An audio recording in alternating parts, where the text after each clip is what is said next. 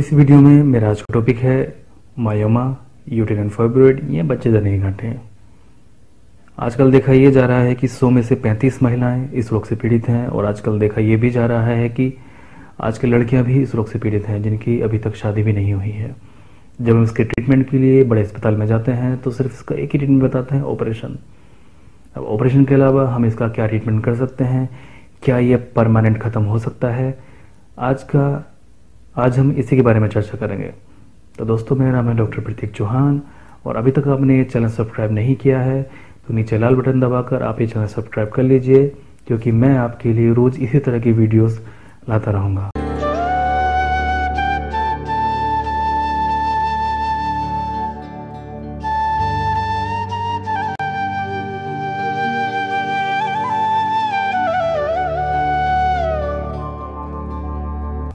Video में बच्चेदानी गांठ पर आगे चर्चा शुरू करने से पहले मैं आपको कुछ पेशेंट की वीडियो दिखा देना चाहता हूँ कि जिनको पहले फाइब्रोइड था और फिर अब अब उनको फाइब्रोइड नहीं है।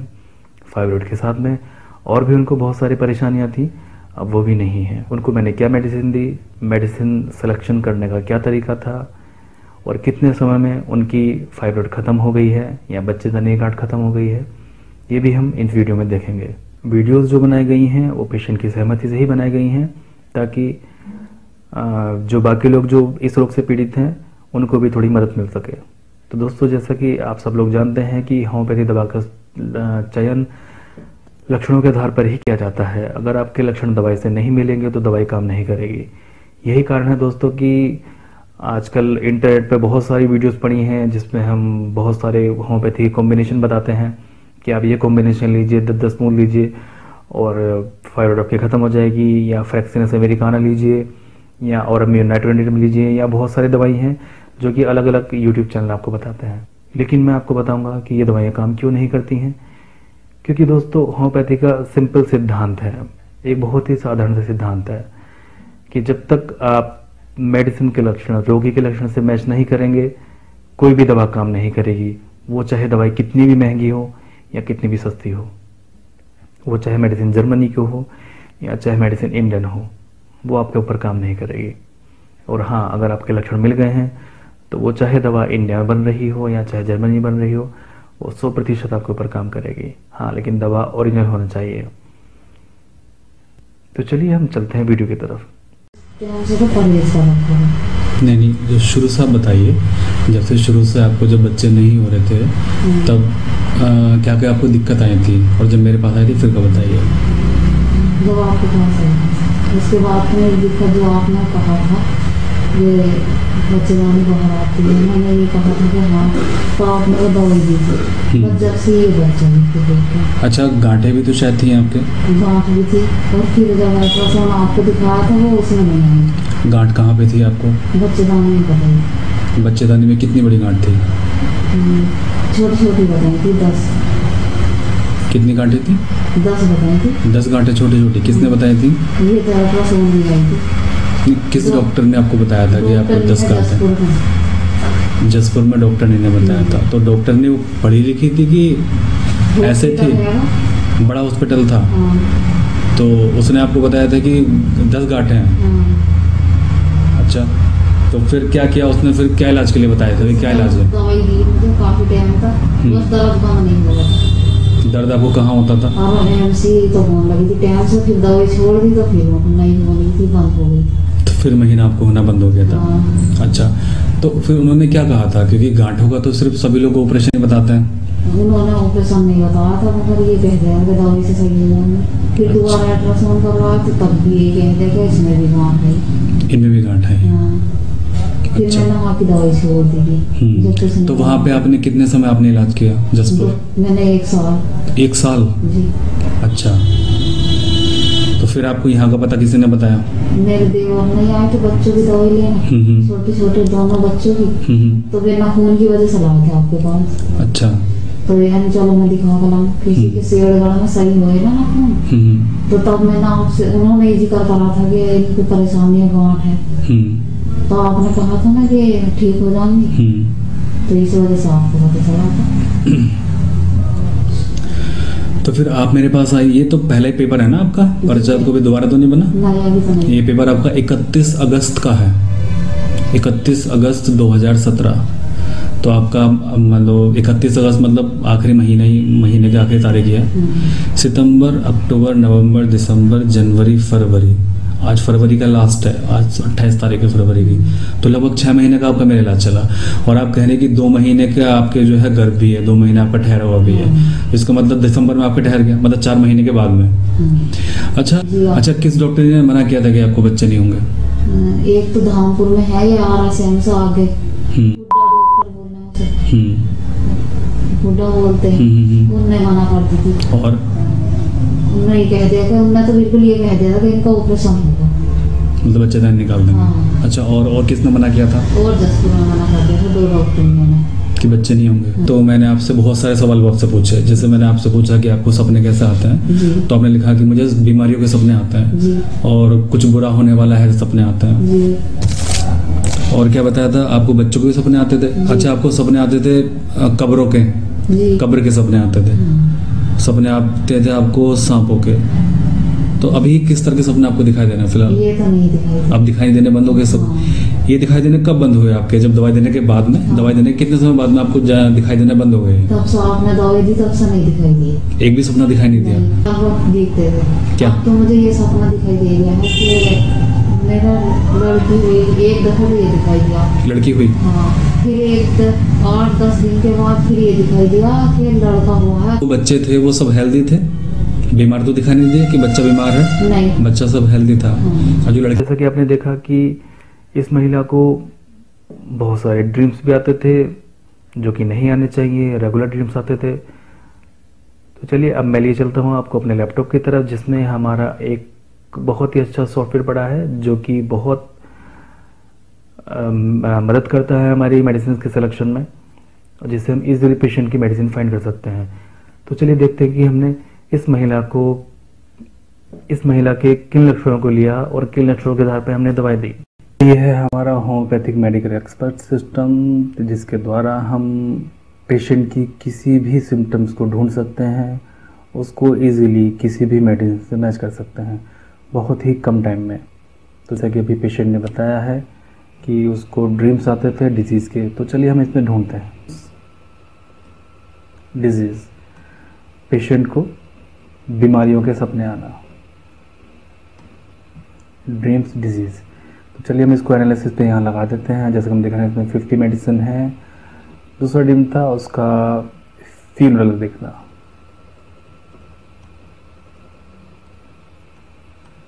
दोस्तों इस तरह के सपने किसी को नहीं आते हैं। तो हमारा मेडिसिन का जो मेन थीम ये थी, हमारा जो पेशेंट का मेन थीम ये थी कि उसको इस तरह के सपने आते थे और वो हमेशा इन्हीं चीज़ों के बारे में सोचती रहती थी। दूसरा इसका ये था कि क्योंकि उसके बच्चे नहीं हो रहे हैं, इसलिए उसके हस्बैंड उसको प्यार नहीं कर रहे हैं। चलिए, ये सेकेंडरी ऑप्शन था कि उसको प्यार नहीं किया जा रहा है, कि सभी लोगों ने उसको पीछे छोड़ दिया है। चलिए, हम ये भी लगा देते हैं। अबेंडन फॉर सेकेंड फीलिंग और चौथा जो उसका मेन सिम्टम था पेशेंट का, वो ये था कि जो पीरियड्स का जो फ्लो होता था, यानी मैंसेस का जो फ्लो होता था, वो सिर्फ़ रात को होता था। मतलब कि जब वो सोती थी, तभी फ्लो ज़्यादा होता था और दिन में फ्लो बिल्कुल ना के बराबर होता था। चलिए, ये बहुत ही कैरेक्टरिस्टिक सिम्टम है, जो कि जल्दी से किसी भी फीमेल के अंदर नहीं मिलता है। चलिए हम ढूंढते हैं। Menses general sleep only during तो सिर्फ़ इसमें एक ही मेडिसिन है। एक ही मेडिसिन है, क्योंकि ये बहुत ही अजीब सिम्टम है। पेशेंट के अंदर की सिर्फ़ नींद के समय ही उसको पीरियड्स का फ्लो होता है। तो हम ये सिम्टम्स ले रहे हैं। अदरवाइज़ इसको नहीं लेते। चलिए इसको यहाँ एनालिसिस पे लगाते हैं। तो अब हम देखते हैं। हमारी जो मेडिसिन है, मैग्नीशियम का, वो हमारे ड्रीम्स को भी कवर कर रही है, हमारे पेशेंट की फीलिंग को भी कवर कर रही है और हमारे स्लीप पीरियड्स को भी कवर कर रही है। चलिए, अब हम इसको पढ़ लेते हैं मेडिसिन को। ये बहुत बहुत इजी है। दोस्तों, ये करना बहुत इजी है। चलिए इस फीमेल के बारे में पढ़ लेते हैं। Female menses flow more profuse at night ये कैपिटल लेटर में लिखा हुआ है क्योंकि ये बहुत मार्क है इस मेडिसिन में।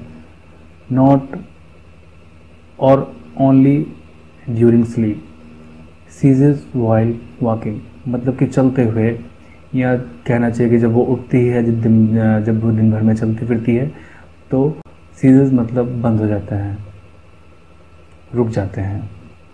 इसमें जहाँ हम देख रहे हैं दोस्तों, ये है फीमेल का ये है फीमेल के सिम्टम इसमें। लेकिन इसमें कहीं भी मायोमा या फाइब्रोइड नहीं है।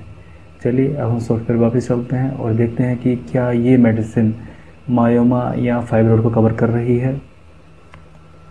फीमेल ट्यूमर यूट्रस फाइब्रोइड या मायोमा।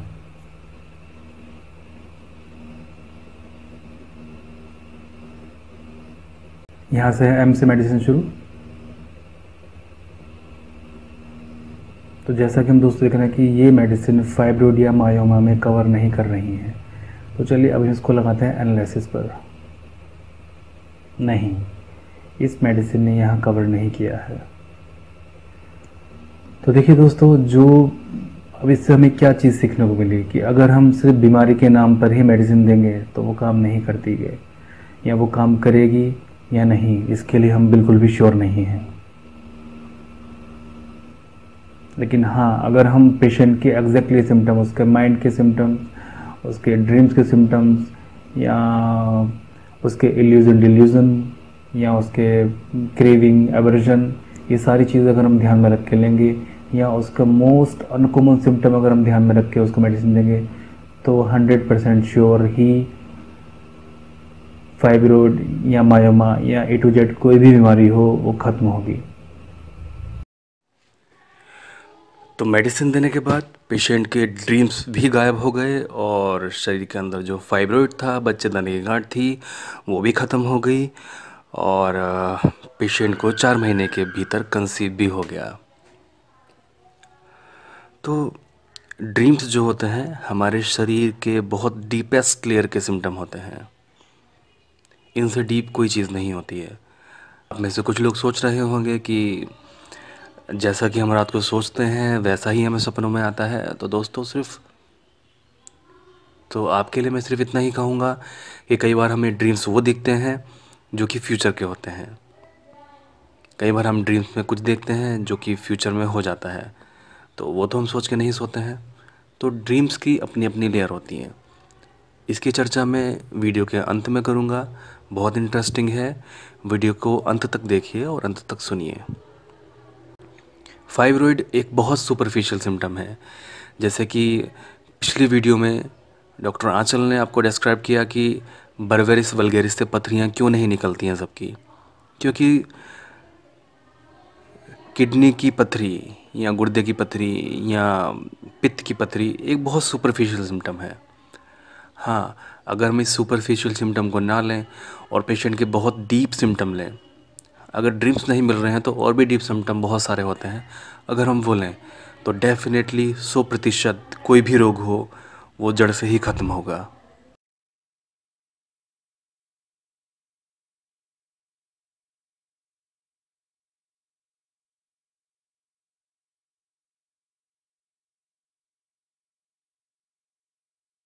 तो मना कर देता तो मैं भरोसा नहीं करा और जगह दिखा बस तुम्हारे पास गई थी मेरी हिंदा। बस और कहीं ना दिखाया तुमने तो एक दो तो गांठ का साइज़ लगभग कितना बड़ा था? जी अच्छा इतना बड़ा था इतना बड़ा था। आराम से निकल गया वो? आराम बहुत दर्द बहुत हुआ हिसाब से। अच्छा। कितना टाइम में निकल गया लगभग? कितना टाइम अपने इलाज का मेरा? जी? हाँ दो महीने हो गए थे। पूरे खत्म दवाई हाँ। पूरे दो महीने। तो दो महीने के बाद आराम से गांठ होने आपकी निकल गई? और जो ज़्यादा जो आपको होता था वो भी अभी बिल्कुल ठीक हो रहा है?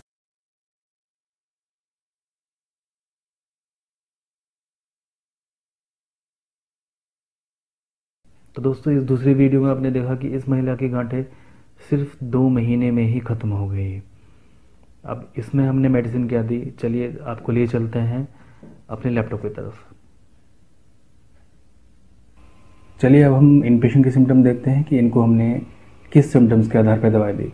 तो जब दोस्तों, जब मैं, जब मेरे पास ये पहली बार आई और जब इन्होंने अपने सिम्टम बताने शुरू किए तो शुरू से लेकर लास्ट तक इनकी आँखों से आँसू आने बंद नहीं हुए। ये लगातार रोती रहीं और कहती रहें कि मेरा मुझे ऐसा लगता है कि मेरा इस दुनिया में कोई नहीं है। मैं बिल्कुल अकेली हूँ मुझे प्यार करने वाला कोई नहीं है। और और इन्होंने ये बात कई बार मेरे सामने रिपीट की और लगातार ये रोती रही। तो दोस्तों हमें सिर्फ़ इनके रोने से और सिर्फ़ इनके इतना कहने से हमें दो सिम्टम बिल्कुल क्लियर इनके हो गए जो कि बहुत ज़्यादा स्ट्रॉन्ग से। अच्छा जो इनके साथ इनके हस्बैंड आए थे उन्होंने मैंने उनसे ये पूछा कि क्या ये बात सही है कि आ, जो ये जो इस तरह से कह रही हैं। उन्होंने कहा कि नहीं ये हमेशा रोती रहती है अपनी बीमारी को लेकर। घर में जो भी कुछ जो भी कोई आता है बीमारी बताती रहेगी रोती रहेगी और कहती रहेगी मैं इस दुनिया में अकेले हूँ। कि जबकि मैं इसका इतना ख्याल रखता हूँ कि और ये जहाँ भी कहती है मैं लेके जाता हूँ इसको मेडिसिन दिलवाता हूँ। तो चलिए हमारे पास दो सिम्टम हो गए। एक तो आ, उसको लगता था कि वो दुनिया में अकेली है तो हम इसको बोलते हैं डिल्यूज़न कि ऐसा है नहीं लेकिन वैसे मरीज़ सोचता है delusion alone world in the वो इस दुनिया में बिल्कुल अकेला है। हमारा दूसरा सिम्टम था वीपिंग टेंडेंसी टेलिंग देखिए weeping tearful mood tendency telling of her illness when तो चलिए, यहाँ भी हमें ये बहुत अच्छा सिम्टम अगर मिल गया। चलिए, अब हम इसको यहाँ लगा देते हैं। इसमें सिर्फ़ टेन मेडिसिन है। तो दोस्तों, हमारे यहाँ सिर्फ़ एक ही मेडिसिन ही आ रही है, इसको हम बोलते हैं पल्सिटिला चलिए, अब हम देखते हैं कि क्या पल्सिटिला फाइब्रोड के सिम्टम को कवर कर रही है। ट्यूमर यूट्रस फाइब्रॉइड हाँ ये कवर कर रही है। तो जैसा कि दोस्तों आपने देखा कि हमारा मेडिसिन देने का जो आ, हमारा जो मेडिसिन सिलेक्शन का जो मेन तरीका होता है वो बीमारी को ध्यान में रख के नहीं होता है। वो पेशेंट को नेचर को ध्यान में रखा होता है। जैसे पिछली बार हमने देखा कि हमने पिछली बार हमने ड्रीम्स पर दवाई दी इस बार हमने देखा इस बार हमने डिल्यूजन पर दवाई दी। तो किसी भी मेडिसिन किसी भी पेशेंट की कोई भी मेडिसिन फिक्स नहीं है। इसीलिए अगर आप कोई भी फिक्स मेडिसिन ले रहे हैं तो आप हमेशा उससे बच के रहिए। क्योंकि हो सकता है कि वो आपके ऊपर काम करे या ना करे। अगर उसको सौ लोग रहे ले रहे हैं तो वो सिर्फ़ दो या पाँच के ऊपर काम करेगी, बाकी ऊपर काम नहीं करेगी। और हाँ अगर हम अपने इस एक्सपर्ट सिस्टम के द्वारा अगर आपको मेडिसिन देंगे तो वो श्योरली सौ प्रतिशत काम करेगी। हमारे पास एक एक्सपर्ट सिस्टम और होता है दोस्तों, वो है ये। ये बिल्कुल एडवांस है। ठीक है? इसमें जो सिम्टम्स हमें यहाँ नहीं मिलते हैं, वो सिम्टम्स हम वहाँ ढूंढ लेते हैं, लेकिन सारे सिम्टम्स हमें यहाँ मिल जाते हैं। जैसा कि आपने देखा कि किसी भी पेशेंट के लिए कोई भी मेडिसिन फिक्स नहीं है। यानी कि कहना चाहिए कि अगर आपको बताएँ कि फाइब्रोड के लिए फ्रेक्सनस अमेरिकाना लीजिए तो दोस्तों ये एक एलोपैथी सिस्टम हो गया। अगर हम होम्योपैथी को एलोपैथी रूल से करेंगे तो हम कभी भी सक्सेसफुल नहीं हो पाएँगे या आपका फाइब्रोड नहीं निकल पाएगा और आप और ज़्यादा परेशान हो जाएँगे। अगर दोस्तों, अगर आप चाहते हैं कि हम आपका ट्रीटमेंट करें तो आप नीचे दिए गए व्हाट्सअप नंबर पर हमें कॉन्टैक्ट कर सकते हैं। तो मैं आपको यकीन दिलाता हूँ कि अगर आपके सिम्टम्स मेडिसिन से मैच होंगे तो 100 प्रतिशत आपका बच्चे दाने की गांठें या अंडे दाने की गांठें या कोई भी रोग हो, वो 100 प्रतिशत ख़त्म होगा। अगर आपको वीडियो अच्छी लगी है तो इसको लाइक कीजिए और शेयर कीजिए। हाँ एक बात और। अभी जैसे आप सभी लोगों के मन में होगा कि ड्रीम्स कि इसको, कि ड्रीम्स को बेसिक करके मेडिसिन क्यों दिया गया? तो दोस्तों, मनुष्य एक सात मंजिला इमारत है, जिसमें हम सिर्फ़, जिसमें हम रह रहे हैं चौथी मंजिल पर। कहना चाहिए कि हम, अगर मैं उन सात के सात मंजिलों का आपको नाम बताऊँ तो आप ज़्यादा अच्छे समझ पाएँगे। हम जिस चौथी मंजिल पर रह रहे हैं, उसका नाम है चेतन, यानी कि कॉन्शियस अगर आप तीसरी मंजिल पर उतरें तो उसको हम कहते हैं अनकॉन्शियस दूसरी मंजिल पर उतरें तो उसको कहते हैं कलेक्टिव अनकॉन्शियस और पहली मंजिल पर कॉस्मिक अनकॉन्शियस दोस्तों कॉस्मिक अनकॉन्शियस से ड्रीम नहीं आते हैं। कलेक्टिव अनकॉन्शियस से और आपका अनकॉन्शियस से ड्रीम आते हैं। इसी तरह हम पांचवी, छठी और सातवीं मंजिल की तरफ़ चलते हैं। पांचवी मंजिल का नाम है सुपर कॉन्शियस